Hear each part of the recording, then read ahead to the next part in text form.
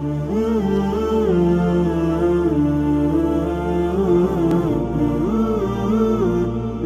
talk wouldn't be complete if we didn't discuss how do we earn the abilities to forgive others. Right or wrong? How do we earn this ability? And I was thinking about this and on my way here to this particular talk, I jotted a few points uh, on paper and inshallah I still have them in my mind.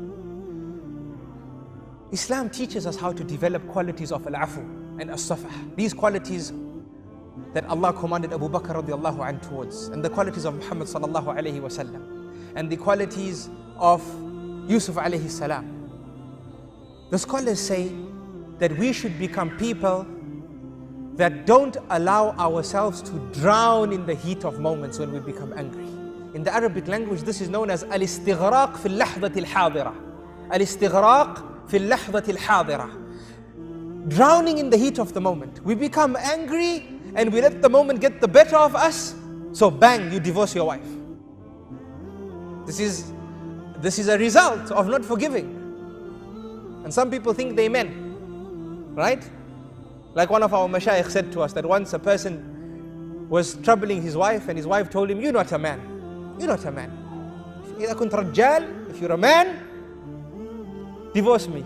He says, You're saying I'm not a man. I'm a man. You divorced.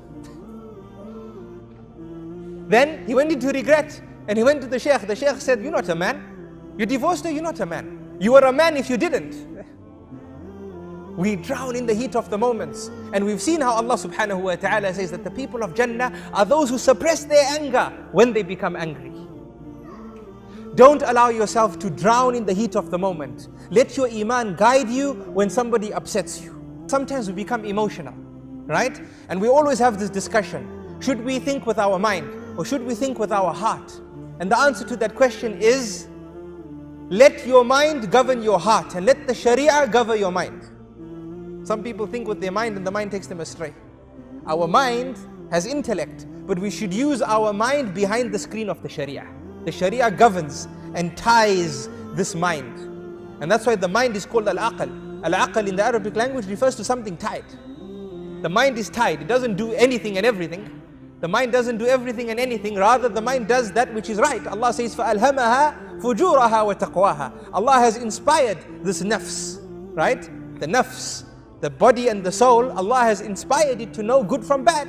So our mind is tied. And when we become emotional, we should let our mind come in and understand right from wrong and understand that we are believers and we are people from Iman and we should suppress anger. Suppress anger.